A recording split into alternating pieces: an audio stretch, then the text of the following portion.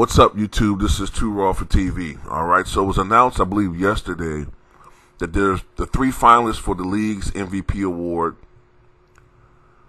uh, are going to be uh, James Harden of the Houston Rockets, Giannis Antetokounmpo of the Milwaukee Bucks, and LeBron James of the Los Angeles Lakers.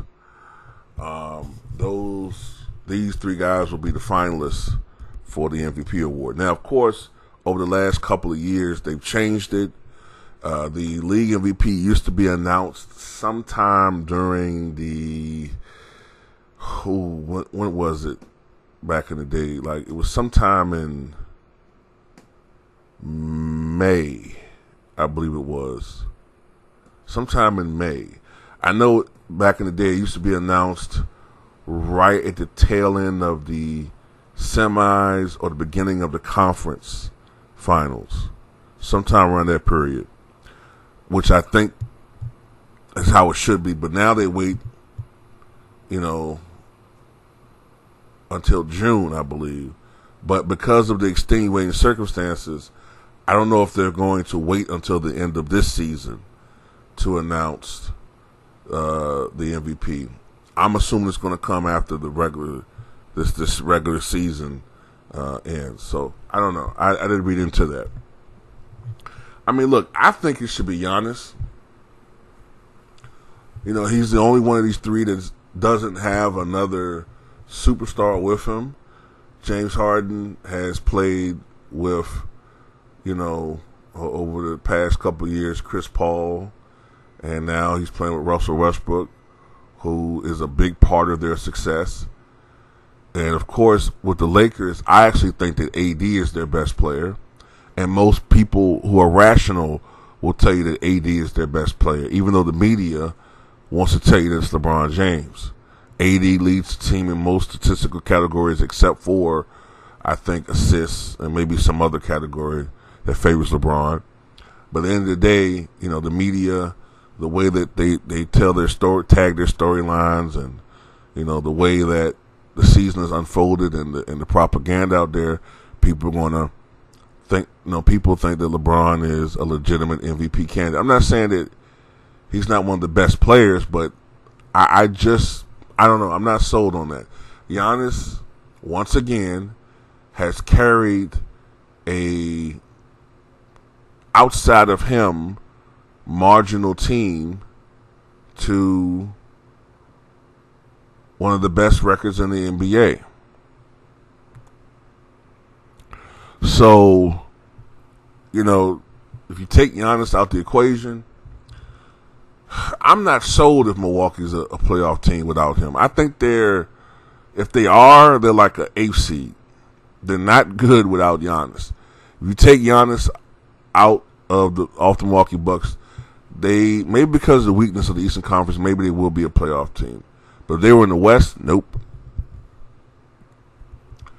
So to me, I think he's the most impactful out of these three. yes, James Harden scores big. Yes, he scores a lot of points.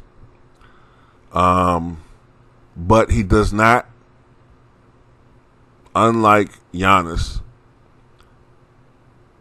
and supposedly like LeBron does, he doesn't make his teammates better. You know what I'm saying? He doesn't. Um, scoring points should not just be the be all end all for winning that award.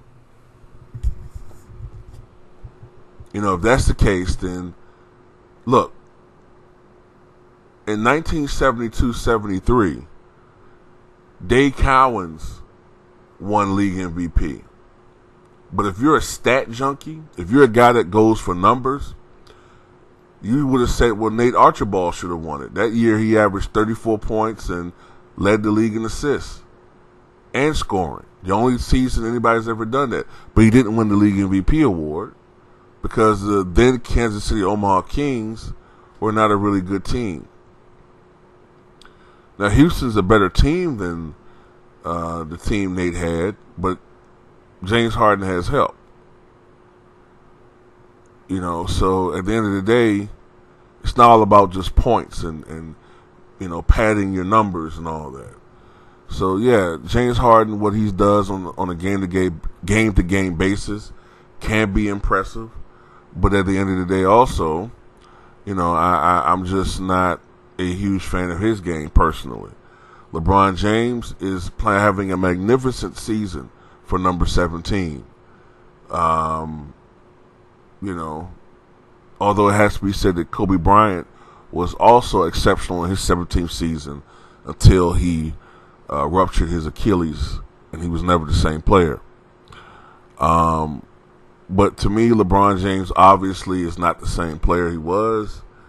Uh, he's great, but I think the media wants so there's so many people in the media that want that storyline of LeBron winning another MVP award, which would tie him with Jordan, which is what they want.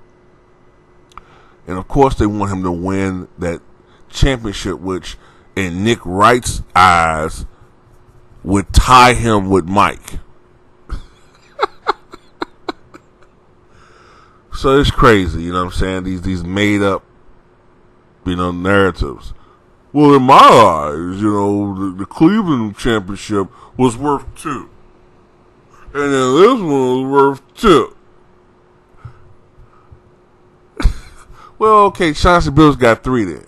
In my eyes, when the, the, the Pistons beat the Lakers, that was worth two and a half, three. So Chauncey got three. Maybe he should be in the Hall of Fame. Get out of here, you fucking idiot, Nick Wright. So to me, yeah, I think Giannis should win it, man. But you know, if Giannis was to win uh, the league MVP, he'd be a two-time league MVP, which would push him up. You know, the all-time listing.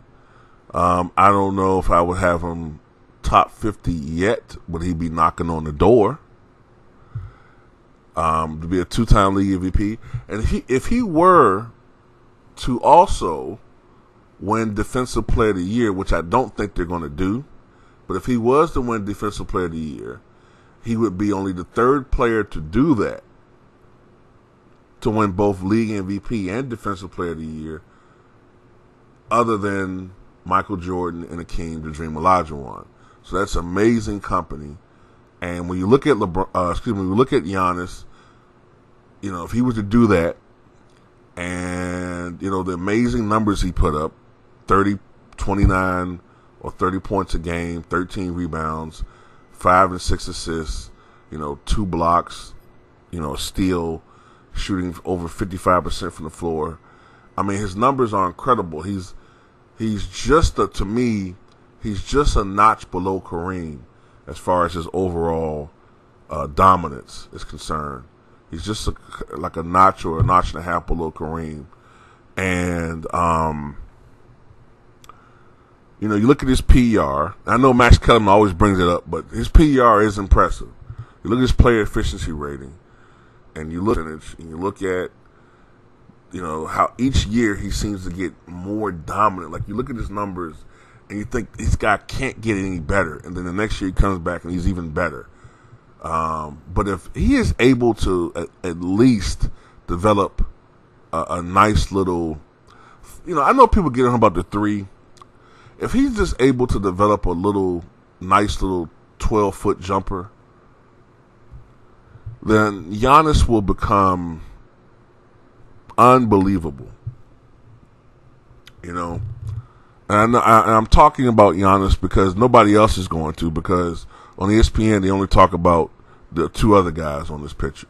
But Giannis, and, and they want to criticize Giannis and make him into being, you know, something that he's not. But at the end of the day, um, I think that Giannis is the true MVP. But I wouldn't be surprised if they give it to LeBron. But you know, at that point, if they do give it to LeBron James, then my expectations for him go through the roof. Okay, championship or bust. I don't want to hear no, you know, well, it just wasn't his year. I don't want to hear no excuses if he wins the league MVP after all the cheerleading that you guys done for him to give him that award, it's championship or bust. And if James Harden gets it somehow, uh, I think he's the dark sheep in this. Then I expect, you know, more often than not James Harden esque performances in the playoffs. I'm not saying every game he has to drop 40, uh, but you know I, I want to see him dominate against a great team.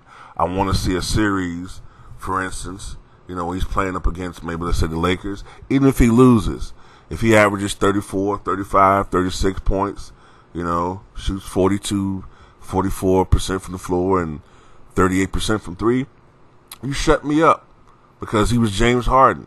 But if he has another one of these, you know, series where he averages 25 and shoots 34% and 17 from three and he has his hands up, you know, why he didn't get the call and they get their ass blasted. I, I don't want to hear this guy no more, man. I don't want to. I'm, I'm, I'm gonna go off like I did before, but even worse because I don't want to keep hearing about this dude every goddamn season, and he does nothing in the playoffs. So that's all I got to say. Tell me what you guys think.